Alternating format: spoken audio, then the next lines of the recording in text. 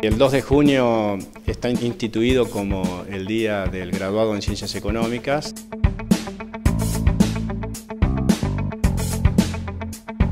En ese marco, nuestra facultad ha organizado una primera charla que se relaciona con situaciones de actualización de impuestos a las ganancias y una segunda actividad que tiene que ver con eh, aspectos eh, vinculados al procedimiento fiscal. Es una actividad de, actualización y de profundización de conocimiento que estará comenzando el 30 de junio, tiene una duración de 64 horas